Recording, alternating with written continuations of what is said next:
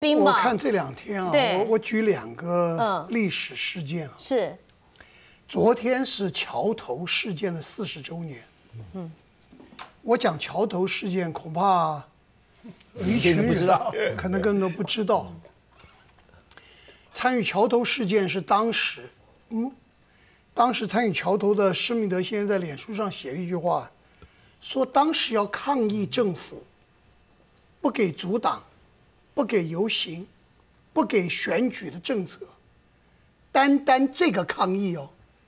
我们不是讲郑慧忠是抗议政府吗？抗议文化部。嗯，当时抗议政府这么光明堂皇，都要拿命申许，以命相许。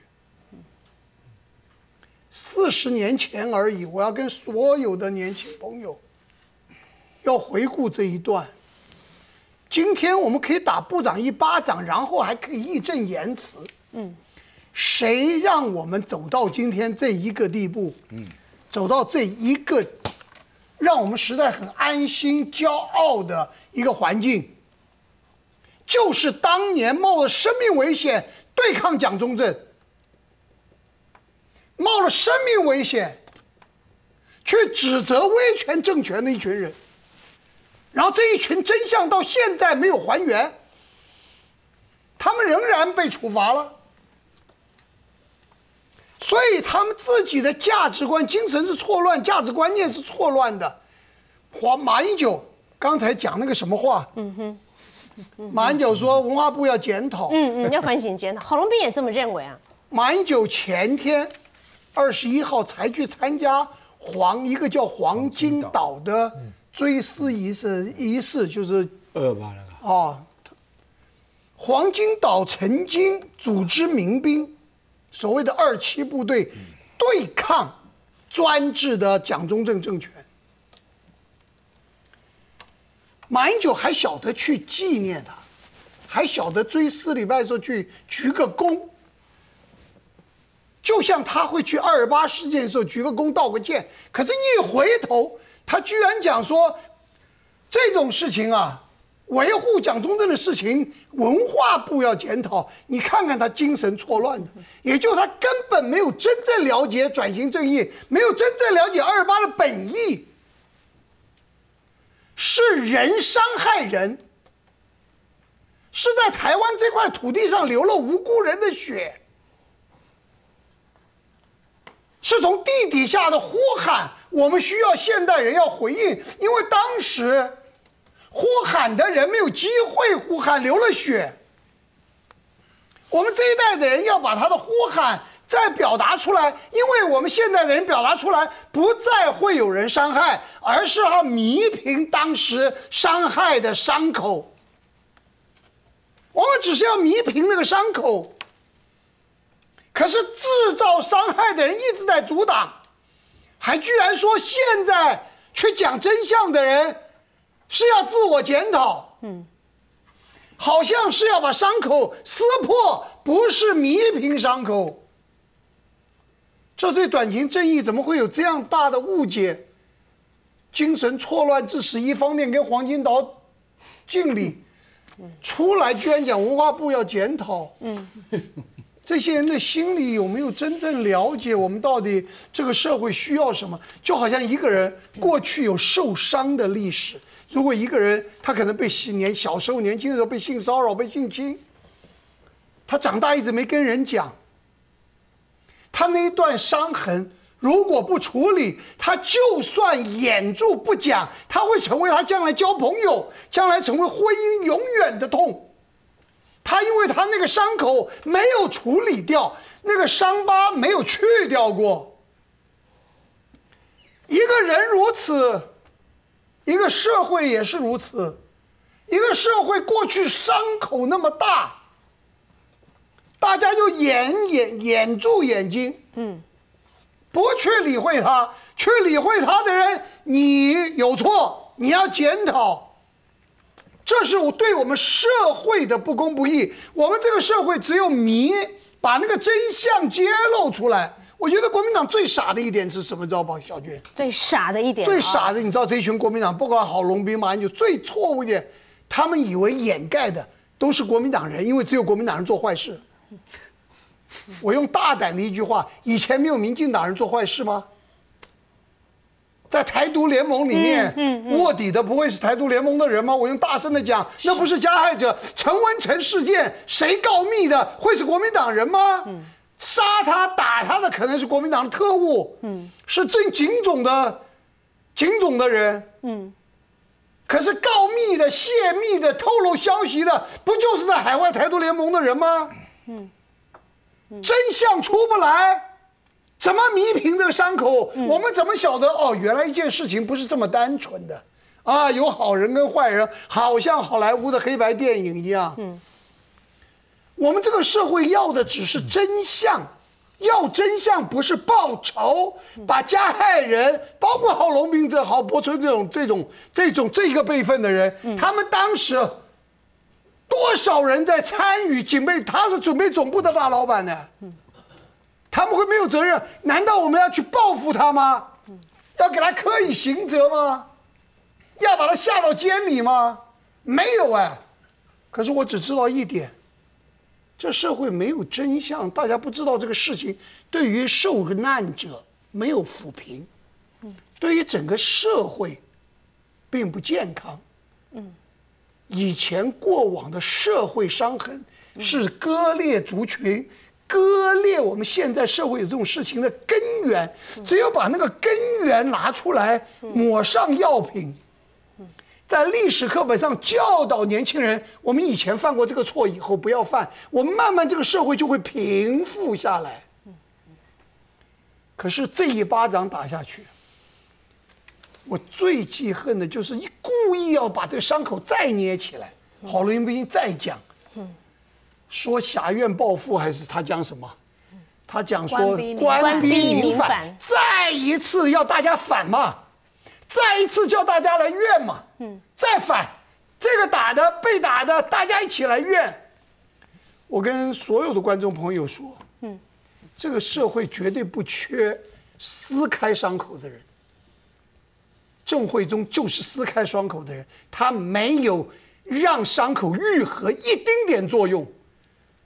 要做的是，我们要把过去发生的事情展现给社会看，让大家都了然于胸，嗯，知道过去做错什么事情，嗯，然后我们才能够抚平所有的伤害，嗯，施明德就不会在桥头世界再写下来，说当年我们是以命相许，你现在轻松的随意的一巴掌还可以自得意满吗？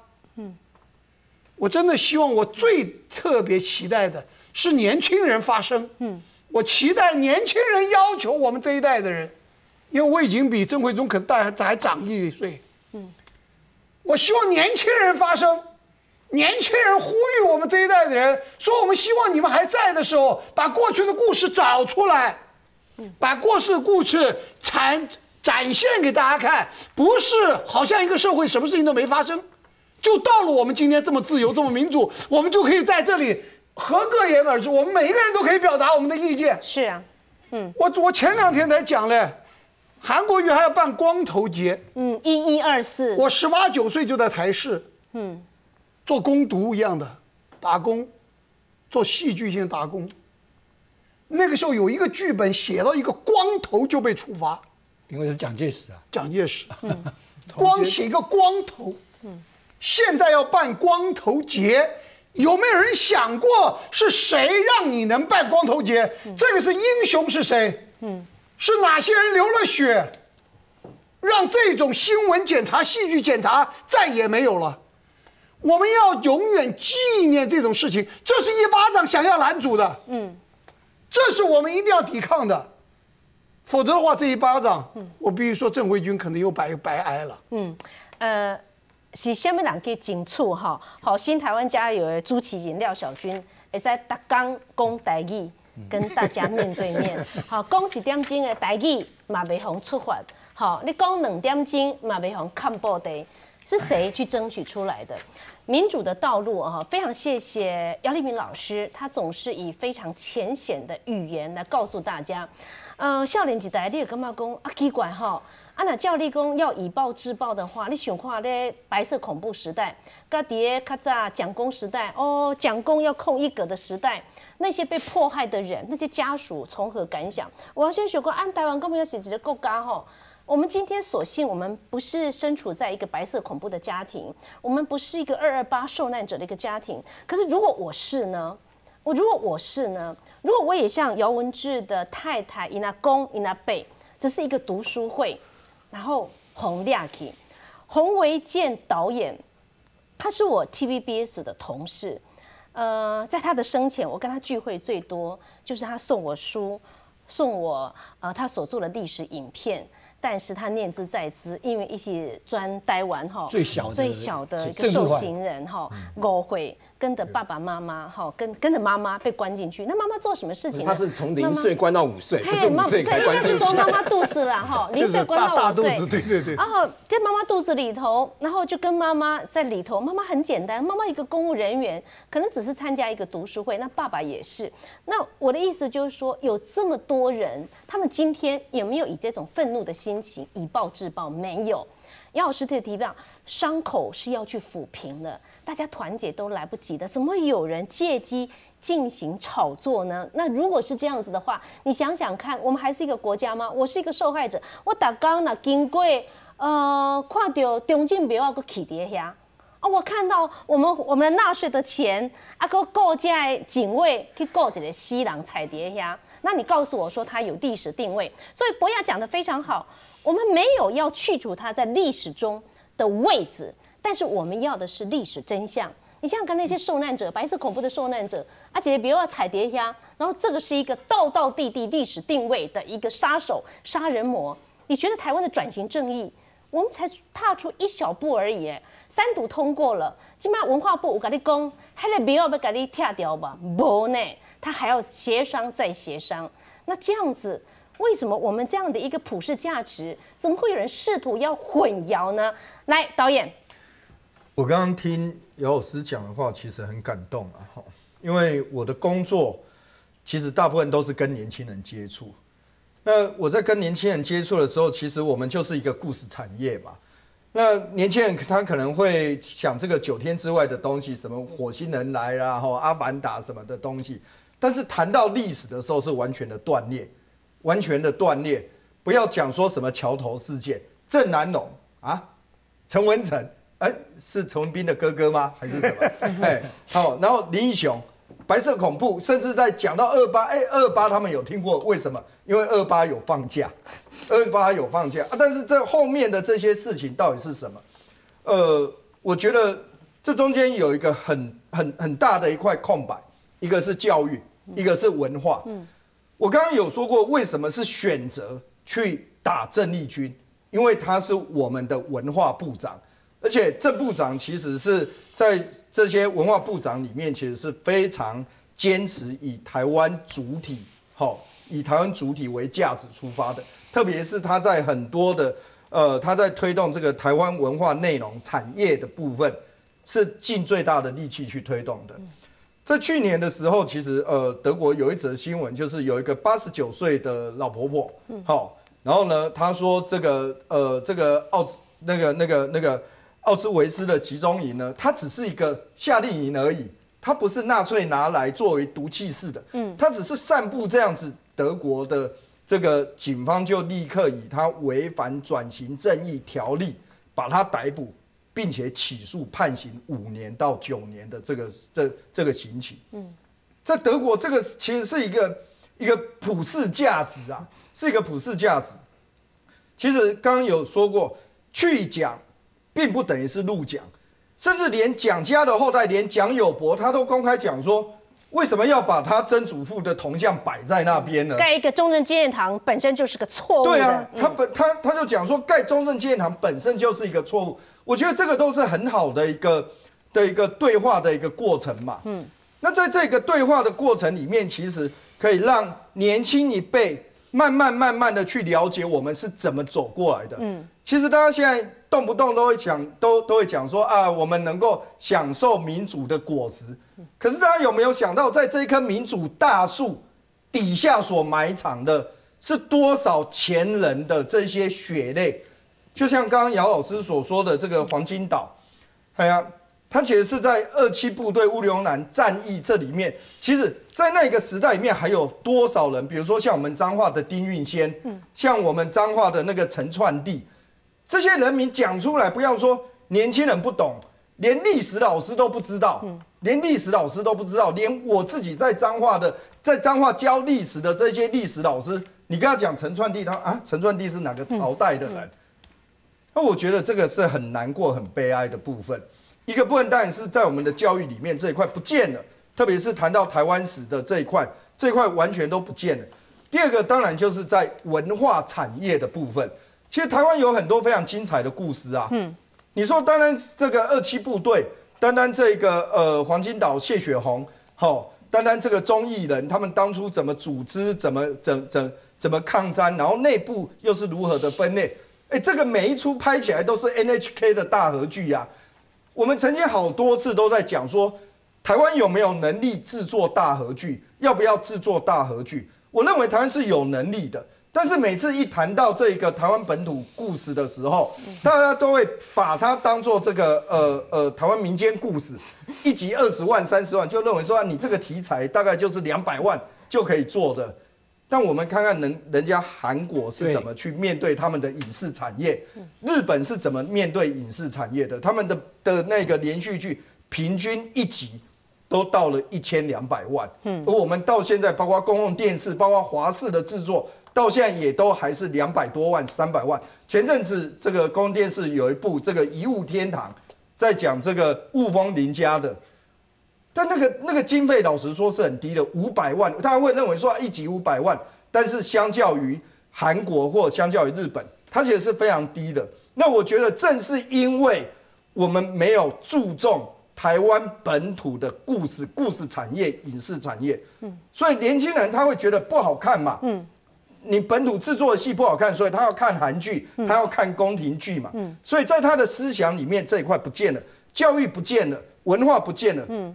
啪的之突然之间，他就会变成网络上的酸民啊，他就会认为这个一百分经济不要谈政治，就会变成这个样子。所以，刚姚老师所讲的也让我就这几天一直在想，他真的是打在郑丽君。我们的文化部长的脸上，真的就是打在台湾人的脸上，因为这是台湾意识的受辱。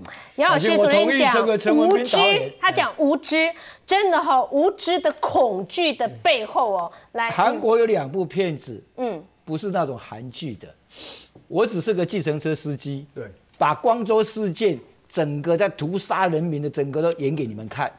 那是德国一个摄影记者在那拍的，这就是教育啊！那对啊，这就九八七，人家卖座，还有一个一九八七，学生被屠杀的，人家演给人家看。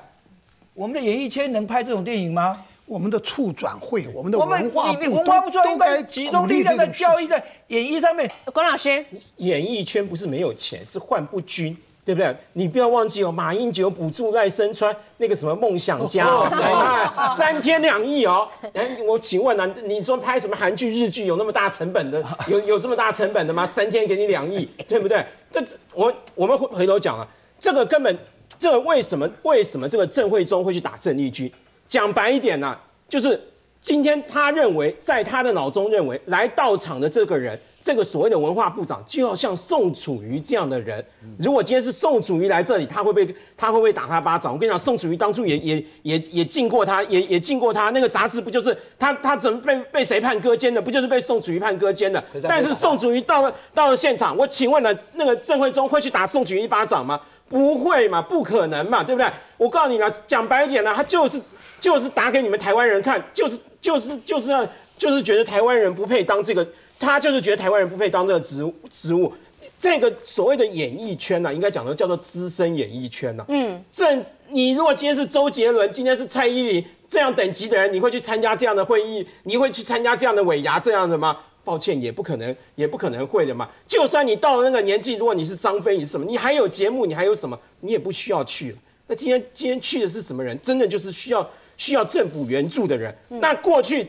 谁来发这笔，就是谁来当这个善财童子啊。过去都是国民党来当这个，那现在现在倒过来变成民进党来当这个位置，而且看起来好像郑丽君发的比从前那些那些部长发的还多。我跟你讲，这些人当然就紧张了，他所以他才会他才会去动手啊。你去你去分析他那个背后的动机，其实你就知道，就是讲说这些人就是永远。